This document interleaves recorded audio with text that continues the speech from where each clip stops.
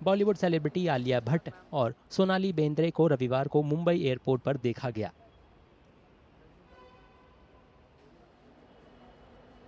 आलिया भट्ट को black and white colour की coordinated outfit, जिसमें जिपर जैकेट और जॉगर्स के ब्लैक एंड शूज़ और शेड शामिल थे। उन्होंने एक ब्लैक हैंडबैग भी कैरी किया हुआ था। उन्होंने हाल ही में गैल गैडोट और जेमी डोरनन के साथ Netflix film heart of stone में काम किया। Sonali Bendre yellow sweat shirt और प्रिंटेड पिंक पैजामे वाइट शूज़ और शेड्स में खूबसूरत लग रही थी।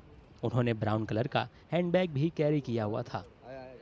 वे हम साथ साथ हैं इंदिरा आग डुप्लीकेट और कई फ़िल्मों में अपनी भूमिकाओं के लिए जानी जाती हैं।